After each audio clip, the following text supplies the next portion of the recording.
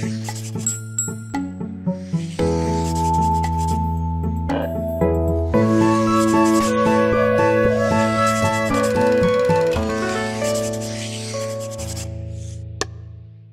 Olá, nós estamos começando mais um programa Luz Câmara Ação contra o Câncer e hoje nós vamos falar de uma campanha que é bem nova e bem importante que está aqui no hospital. Por isso eu vou falar com o Dr. Ricardo Gama. Ele é um dos cirurgiões do Departamento de Cabeça e Pescoço e veio falar para a gente sobre uma coisa chamada Júlio Verde. É isso, doutor? Que campanha é essa? A campanha Júlio Verde nasceu em 2014 é, de uma ideia da sociedade, da Federação Internacional das, das Sociedades Oncológicas de Cabeça e Pescoço, e que estabeleceram que o dia 27 de julho seria o Dia Mundial do Câncer de Cabeça e Pescoço, com a intenção de alertar em relação à doença, que é, ainda é pouco conhecida, alertar em relação aos principais sinais e sintomas de reconhecimento de um câncer de cabeça e pescoço e de como prevenir. Hoje a gente tem o exemplo do Outubro Rosa, que talvez seja das, dessas campanhas a mais famosa, porque foi a primeira, né? É, então, quando a gente fala em uma campanha ligada à prevenção de câncer, hoje parece que a população já reconhece isso. Ou, ou eu estou sendo demasiadamente otimista? Não, não. Esse é o caminho, é isso aí. Eu acredito que o Júlio, próprio Júlio Verde, no começo, a, a, aconteceu ou, ou realmente foi de uma maneira muito modesta, até porque pouco se conhece em relação ao câncer de cabeça e pescoço. Mas à medida que os anos vêm passando, a, a, o Júlio Verde ele vem ganhando proporção cada vez maior em termos de disseminação, de conhecimento. Inclusive ontem mesmo eu vi nos jornais, nos telejornais, reportagens falando sobre o Júlio Verde. Agora, doutor, quando a gente fala que o Hospital de Amor tem um departamento chamado Cabeça-Pescoço, as pessoas já acham estranhíssimo esse nome. Então, assim, quais são os tumores que estão relacionados e por que, que o departamento chama cabeça-pescoço? Parece óbvio, mas não é. Sim, com certeza. Cabeça e pescoço, é, o médico, os médicos que lidam com, é, com tumores localizados na cabeça e pescoço, lidam com patologias benignas e malignas. No caso do câncer, patologias malignas da pele, por exemplo, da cabeça e pescoço, do tumor mais comum da cabeça e pescoço, que é o câncer de boca. Né? E quando a gente fala câncer de boca, é câncer de lábio, é câncer de gengiva, é câncer do céu da boca, que é o palato, é câncer da língua, é câncer da garganta, câncer das amígdalas, né? câncer do faringe, que seria a conexão da boca com, por exemplo, o órgão da comida, que é o esôfago, e o câncer da laringe, que é o câncer do órgão da voz, né? que todo mundo se preocupa e tanto fala do órgão da voz. Além desses cânceres nestas, localiza nestas localizações, o câncer da tireoide, da glândula tireoide, também é câncer de cabeça e pescoço. Assim como o câncer das glândulas salivares, dos seios da face, que quando inflamam a gente chama de sinusite. Uhum. Tudo isso é cabeça e pescoço. Quer dizer, e o número é, de pessoas que apresentam esse tipo de tumor, esses, né, no plural, é, tipos de tumor, é tão grande que precisou de um departamento só para cuidar delas? Cada vez maior. Né? Cada vez maior a gente vê é, pacientes com câncer na localização da cabeça e pescoço, principalmente da boca e da laringe, que é o órgão da voz. Uhum. Agora, doutor, quando a gente fala do Júlio Verde, a gente fala assim, é para alertar a população sobre esses tipos de câncer, que o senhor acabou de nomear aí muito bem vários deles. Como? Como é que eu chego na população e falo assim, cuidado? É, com certeza. Eu acho que o primeiro sinal de alerta é como eu posso ter um câncer de cabeça e pescoço e o que eu posso fazer para evitar. Né? É 90% dos cânceres de cabeça e pescoço, dos pacientes que têm um câncer na cabeça e pescoço, sobretudo na boca, na garganta, que seria a faringe e na laringe, fumam ou fumaram. Quer dizer, voltamos ao grande vilão. Ele é antigo como vilão e ele continua atual como vilão. Continua sendo. Então existe aquela questão, nossa, mas eu conheço gente que não fuma, que fumou durante tantos anos e nada teve. Sim, mas em contrapartida, a maior parte pacientes, dos pacientes com câncer de cabeça e pescoço fumaram ou fumam. Essa, esse é o outro lado da história. Além disso, o próprio consumo de álcool, né, que quando consumido em demasia, principalmente em associação com o cigarro, com o tabaco, vamos chamar de tabaco, porque não é só cigarro, é cachimbo, é charuto, né, são as diversas formas de fumar, é cigarro de corda ou palheiro, né, são as diversas formas de fumar, pode aumentar em até 100 vezes a chance do indivíduo que se expõe a esses fatores de risco. Quando se ter, associa o, o álcool associa e, o, o tabaco. E o, e o, quem fume bebe. E aí a gente está falando de um bebê constante. Sim. Né, sim. de um beber bebida alcoólica constante. Sim. É, é, mito ou é verdade que o destilado ele tem ainda um poder maior sobre esses fatores do que o fermentado? O, o destilado ele apresenta uma maior, digamos, uma maior concentração de álcool, maior quantidade de álcool. É claro que assim quanto Quanto mais cigarros você fuma, maior a chance de você ter um câncer de cabeça e pescoço. Quanto mais álcool você ingere, é igual, é proporcional.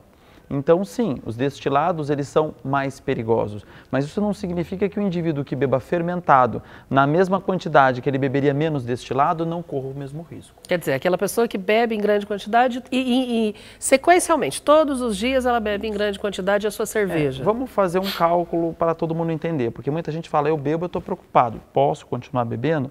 Existe o considerado bebedor social né? Que é que, ah, eu só bebo em festa, mas quando é que você festa? Todos os dias? Essa que é a questão. A gente pode dizer assim, que se você bebe, sendo que um drink, seria o que é um drink? Um drink seria, por exemplo, uma, uma long neck. Uma long neck que corresponde a uma taça de vinho, que corresponde a uma dose de destilado. Isso é um drink. Se o indivíduo bebe até dois drinks dia, a gente considera como sendo um bebedor leve. Se ele bebe de 2 a 4 drinks dia, ele é considerado moderado. Se ele bebe acima de 4, é acentuado. E aí já, já causa uma preocupação. Se ele fuma, então, ele aumentou, potencializou aí Sem quase dúvida. 100 vezes essa predisposição. Doutor, e aí se a pessoa fumou durante 20, 30 anos e fala assim, ah, mas eu já fumei tanto, adianta parar agora? É, na minha visão, de uma forma bem objetiva, na minha visão como profissional, se o indivíduo fumou 20 anos e ele tem 40, 50 anos, compensa. Se ele quer viver mais 30, 40 anos. Né? Porque a gente tem, nós temos que pensar que o, a, o risco do câncer de cabeça e pescoço ele só minimiza a partir do momento que, cessado o hábito do tabagismo, passam-se de 15 a 20 anos. Ou da bebida. É, então você dificilmente vai falar para alguém que tenha 70, 80 anos, pare de fumar. Tem, viveu 70, 80 anos. Se ele parar de fumar agora, o risco dele só vai cessar de 15 a 20 anos depois. Mas para o indivíduo de 35, de 40, compensa de 45, bastante. compensa. Se ele quer ver os netos, você não quer ter um câncer de cabeça e pescoço? Não é verdade? Claro que compensa. E quando a gente fala, a gente fala de prevenção e a gente fala também da prevenção de quem já está com o tumor e às vezes não identifica. Porque o problema é quando chega aqui já com estado avançado, né? Como é que identifica esse tumor inicial, essa possibilidade? Não é que qualquer feridinha que aparecer Sim. vai ser tumor, mas como é que se identifica essa possibilidade? Com certeza. Existem alguns sinais de alerta. Então, a gente falou de prevenção primária, que é não fumar e beber moderadamente. A prevenção secundária é diagnosticar precocemente um câncer de cabeça e pescoço, especialmente na população de alto risco, que é a população que fuma e ou bebe muito. É, sinais de alerta. Ferida na boca que não cicatriza, que está há mais de 15, 20 dias e não cicatriza, é um sinal de alerta. Quando nós temos uma lesão na boca, a gente pensa, ah, deve ser uma afta, vou esperar. Ninguém corre desesperadamente para o dentista para o médico porque tem uma lesão na boca. Opa, esperou uma semana, duas semanas, três e nada, e está aumentando, é sinal de que precisa procurar um profissional da área de saúde para ver essa lesão. Então, esse talvez seja o principal sinal clínico de o início de uma lesão na boca. A segunda é um nódulo no pescoço, um caroço no pescoço que apareceu e está evoluindo. Duas, três semanas ali está e cada vez pior, é um sinal de alerta. E a terceira é rouquidão. Se a gente pensar no câncer de laringe, indivíduo que começa a ter alteração na voz, com piora progressiva ou não melhora, é um sinal de alerta também. Quando a pessoa tem a rouquidão nela mesma, muitas vezes ela não percebe, aquilo vem vindo aos poucos, né? É, e as outras pessoas é que alertam, não é mesmo? Sim. Pelo telefone, ou gente que a gente não vê há muito tempo e que reencontra e fala, sua voz está diferente. Esses sinais a gente tem que ficar alerta. Sim, sempre. Além disso, outros sinais, como por exemplo, dificuldade para engolir, dor ao engolir, alguma, algum tipo de sangramento pela boca. Inexplicável, daquelas coisas que aparecem sem explicação. Por que eu estou com essa dificuldade para engolir? É, então, acho que, claro, é, é, é preciso também o tempo para você observar se isso não é só, entre aspas, uma garganta inflamada. Então, acho que assim, 15, 20 dias é um bom tempo para o leigo, não. Não melhorou, está piorando a minha garganta, a minha voz, a minha ferida na língua, o meu nódulo no pescoço procure um profissional da área de saúde para esclarecer. Mesmo que essa pessoa não tenha o hábito de fumar, mesmo que essa pessoa não tenha o hábito de beber, hum, é bom investigar? Mesmo, mesmo. É claro que a chance de ser um câncer de cabeça e pescoço nesta população que não fuma e não bebe é bem menor, mas não é isento. O que nós temos visto, por exemplo, no dia a dia, é um aumento cada vez mais crescente de mulheres jovens que nunca fumaram ou beberam com câncer de boca. O porquê?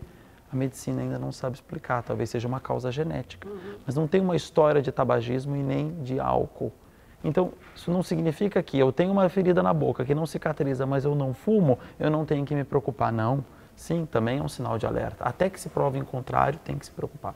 Agora, doutor, lembrando que também não é porque a feridinha está lá há um mês que ela vai correr para o hospital de câncer não, direto, né? Não. Ela vai para o sistema, ou seja, para a unidade básica de saúde perto da sua casa. Ela vai fazer aquele processo de qualquer outra Sim. doença que apareça, qualquer outro sintoma Sim. de qualquer outra é, doença que, que existe no mundo, né? Mesmo porque a maior parte das feridas na boca não são câncer. Né? Ainda bem, né? É, existem causas nutricionais, existem causas traumáticas, é o mordi, machuca, trauma de prótese dentária. Viroses, né? Viroses, aftas, que são viroses, N causas que não obrigatoriamente câncer. Câncer está na minoria, mas existe e é grave. Então, sem dúvida, eu acho que especificamente em relação ao câncer de boca, talvez o primeiro profissional a ser procurado seja um dentista. Uhum. É, mesmo porque as pessoas que geralmente têm câncer de boca não têm o hábito de ir ao dentista. E quando a descoberta é precoce, hoje a possibilidade de cura existe sem e é dúvida, é grande. Sem dúvida. Principalmente se o indivíduo toma consciência de quão maléfico é o cigarro e o álcool e a partir do momento que diagnostica, também interrompe esse hábito nocivo, digamos assim. Quando as pessoas eh, às vezes visitam o departamento, elas ficam um pouco chocadas com pessoas que já perderam, é, às vezes, uma parte da face em decorrência de um câncer. Mas isso é minoria? Ou hoje está se está é, em fase de transição para que seja minoria? Infelizmente, apesar de, por exemplo, exemplo mais comum, câncer de boca, do câncer de boca ser um tumor facilmente diagnosticado, porque basta abrir a boca e iluminar, não é uma região difícil acesso. 70% dos tumores de boca são diagnosticados em fase avançada.